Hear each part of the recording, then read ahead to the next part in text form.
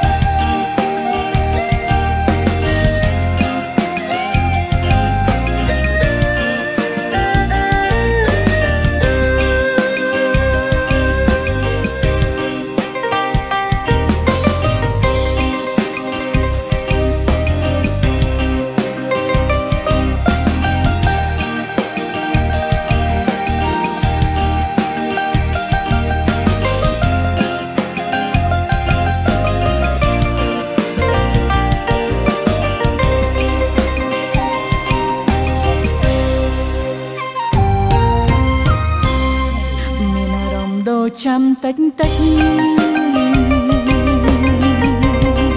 Vì nơi rộm đôi